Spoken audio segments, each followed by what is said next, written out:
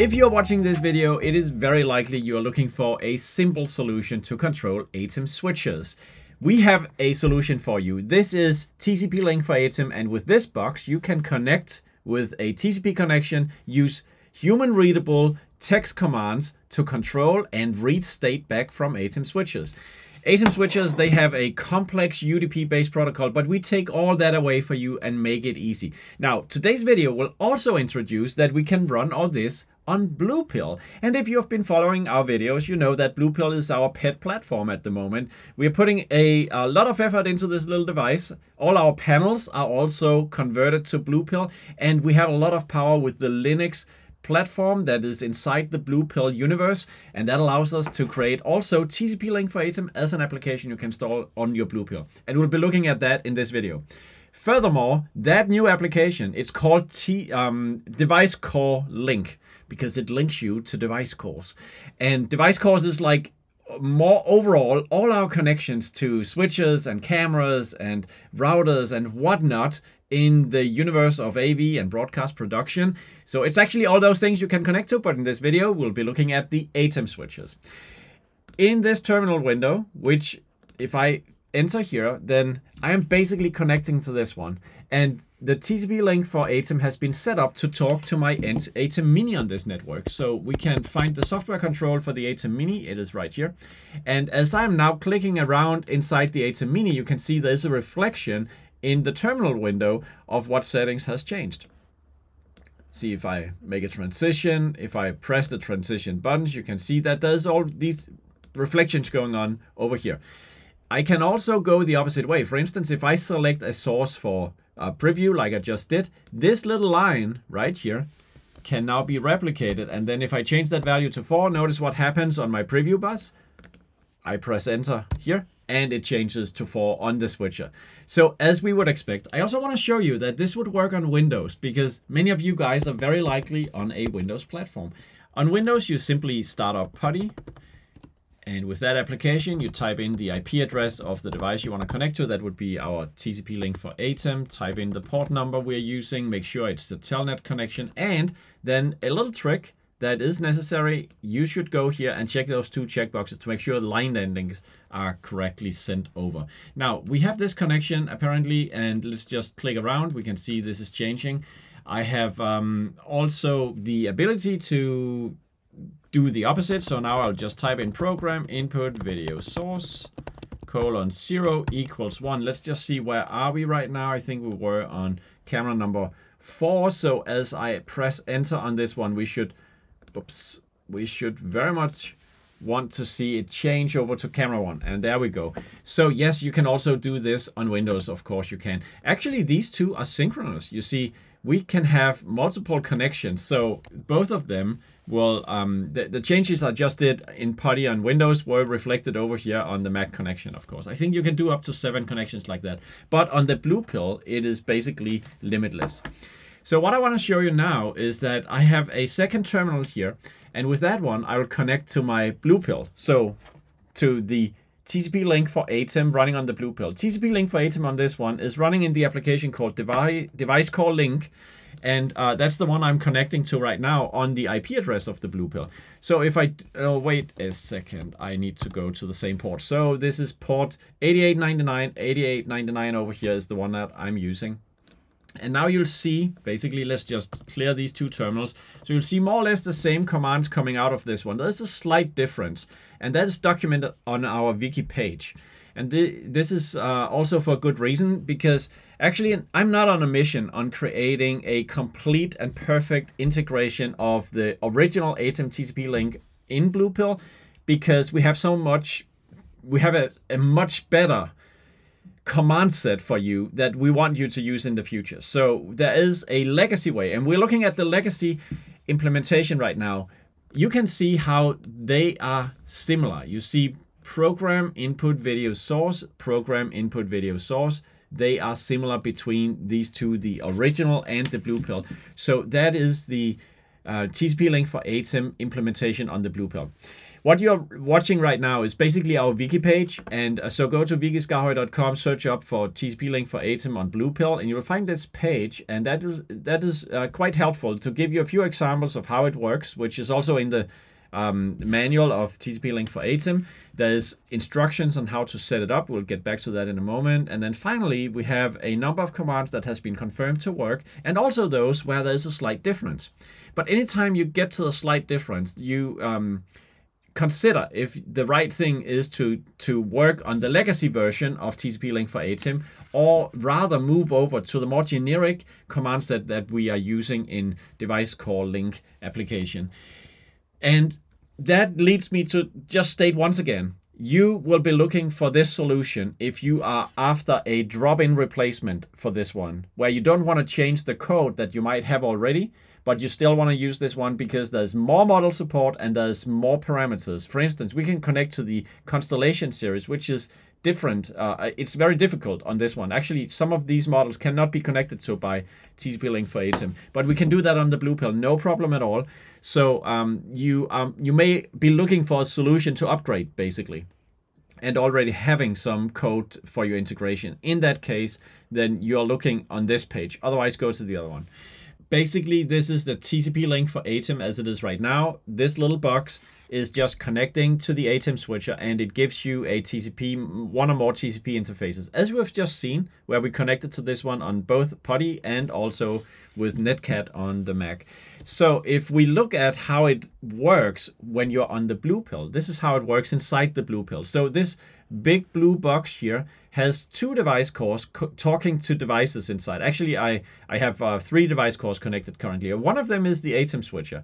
So just consider this would be this Bluepill altogether, basically. So there's the device core link application having the TCP link for ATEM mode inside of it.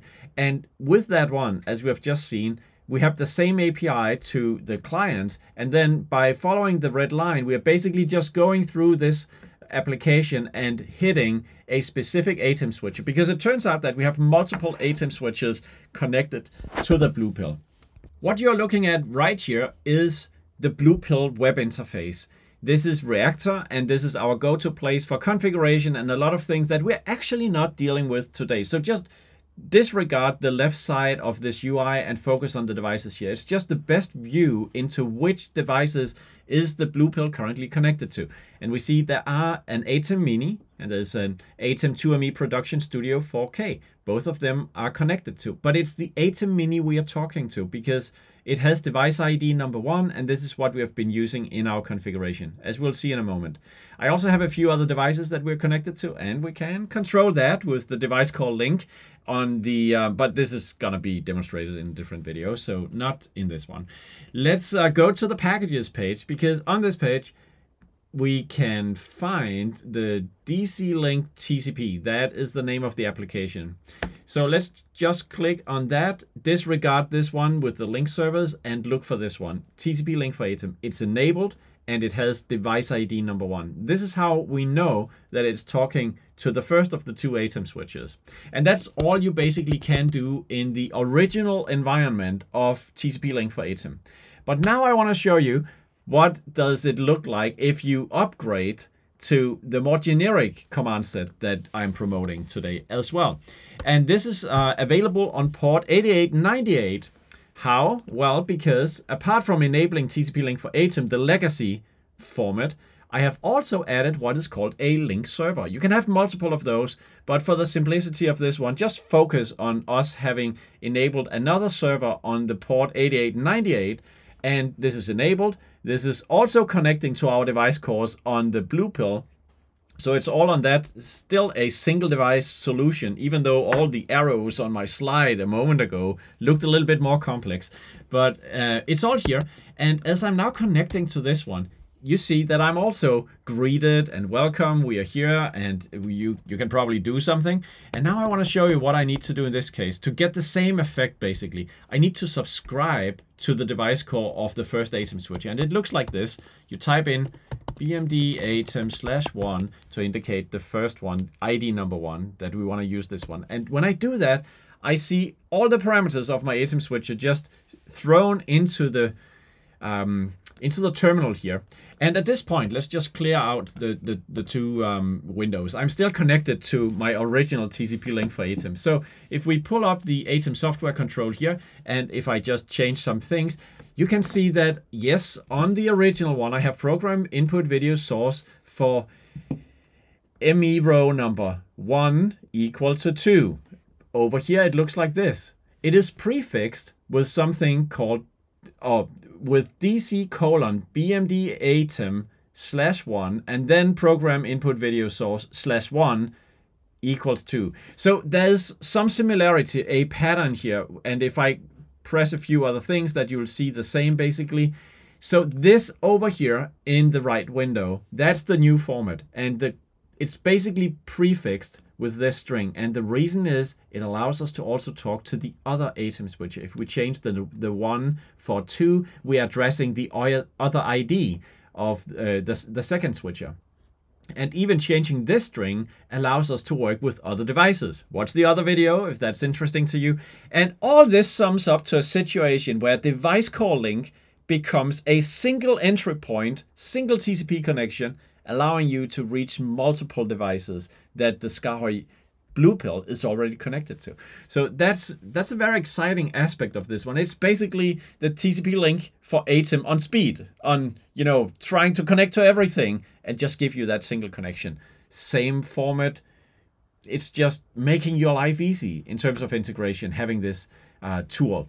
Now, um, so my suggestion is for new ATEM integrations, you should use this format because that is what is far better aligned with the device cores that we are currently working on, if you can do it. This is the legacy format, this is the new one. Let's just see what we can do on this new format here. So if we um, click around, we can see that all the changes that we can expect are also reflected over here. And just like we have um, um, done as well with the um, original TCP link for ATEM, we would have the same ability to now let's just let's let's focus instead of seeing all this. So i'll just clear the terminal here and then let's just bring this one up because the way you do you you interact with this is actually really easy. You uh, you bring this one up and then you can basically copy this line and then you can paste it in and just change the source for 4 to see that we could put camera 4 on program like that. So the the way you work with it is very intuitive in this sense. But actually, if you want to know the complete command set, there is a command called list IO, and then you type that in. You also mention the device you want to see it for, like ATEM switcher number one. And there you basically see the full command set available to you. And now you could scroll a little bit around here. And one of the things that we can find, but otherwise wouldn't know about, is uh, I think the ability to send a cut command to the device. If I can find that. Maybe it's under transition here. Yes, there we have it. So we can basically copy this one. Is there any explanation? It just says cut. That's kind of easy for us.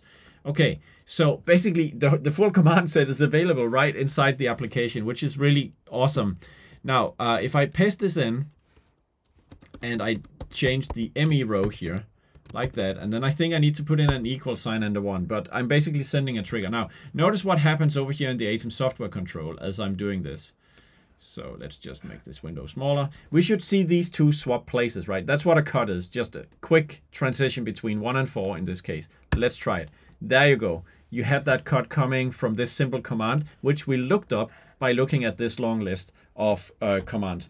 So um, this should illustrate to you that the new API, the new command set is far more, um, it's, it's far more powerful and it is also supported in line in the context of this application pretty well by showing you the complete command set of this one.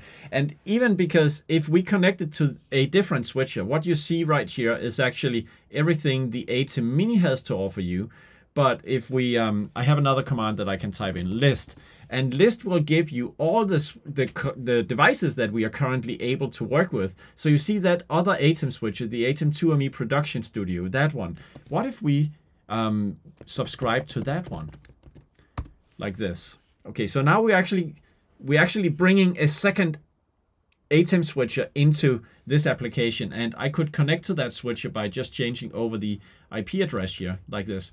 Okay, so now I'm that second switcher and you see this is now integrated here. It's just called BMD ATEM slash 2 instead of slash 1.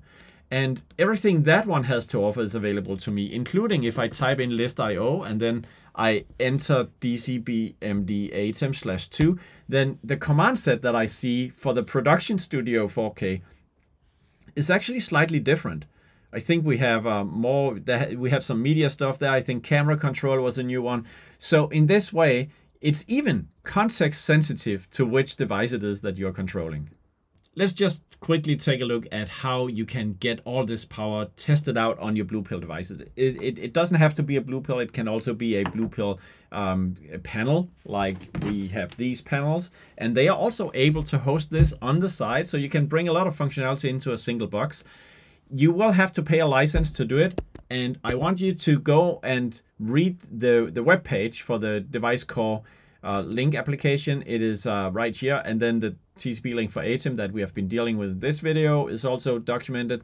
There's a little notice here on licensing and reach out to us if you want to test this out. There is a free 10 minute limited license. So for 10 minutes, you are able to do full operation of your ATEM switcher and then it's, it's gonna bring you into quarantine mode again so you can't do anything. But of course, you'll just reach out to us and we'll make sure you can get a license and there will be a cost of that because this is a product that we are selling and this substitute is a product that we are selling. So I hope that makes sense to you. Um, but let us know and we would be super happy to uh, work with you guys as um, uh, early adopters in this case. At the time of this video, this is something absolutely new that we are bringing out and we are looking for people who want to interact with us on fine tuning the last details of it.